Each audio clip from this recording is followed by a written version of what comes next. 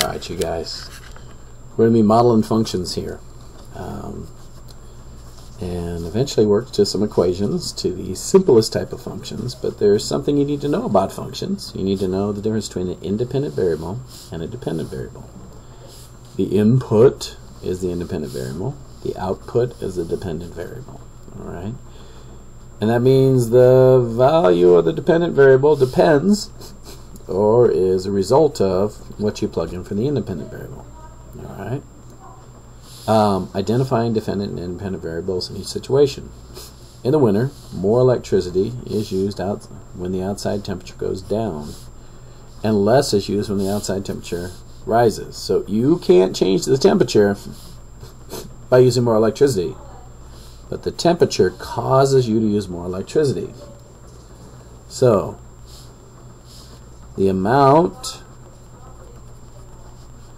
of electricity depends on the temperature. Right?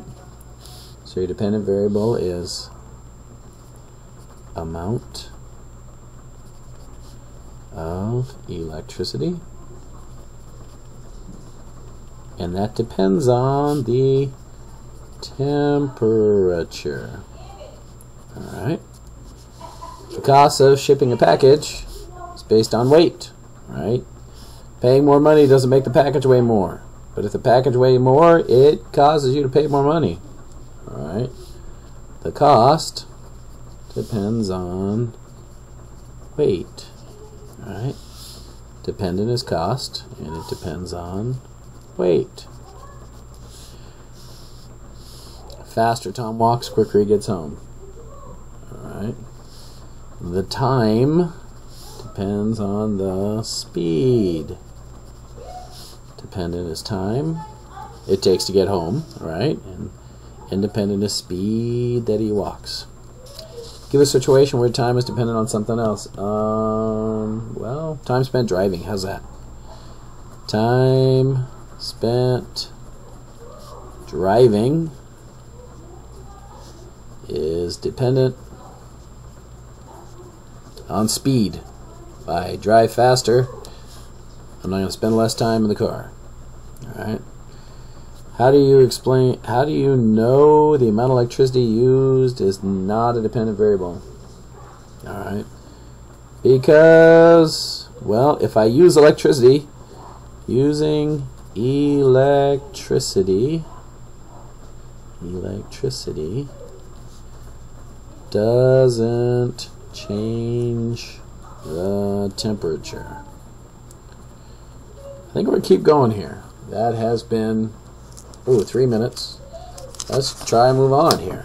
Alright. So, applying function notation. This is kind of important. Function notation. Alright. Let's see what it is. Okay if x is the independent variable and y is the dependent variable. And that's how it is all the time. You can use function notation to write y equals f of x. Red y equals f of x, where f names the function. When a function in two variables describes a function, you can always use function notation to write it. So I can say y is a function of x, right? I could say y equals f of x. Let's go down and do one. You ready? Amanda babysits and charges 5 per hour. Alright. The amount amount of money is 5 times the number of hours. We can see it here, right? One hour is five bucks, two hours ten bucks, three hours fifteen bucks. An algebraic expression, expression that defines a function is a function rule. We're going to write an equation using two styles, right?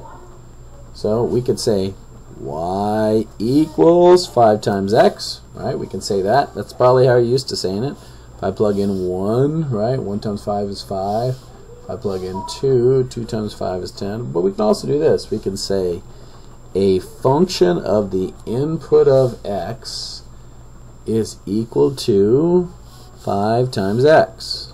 Alright? So, can y be used instead of f of x notation? Well, you know what? Can y be used instead of f of x notation? Ah, not really. No. Alright? Um, if so, tell us. If not, give an example of function notation not written. Well, you know what? Function notation. Function notation just requires f of x. It, it demands that you do it. All right, I think we're halfway done. And so far, we haven't spent a whole lot of time. but we're getting to the word problems. I'm going to pause here and um, save this one.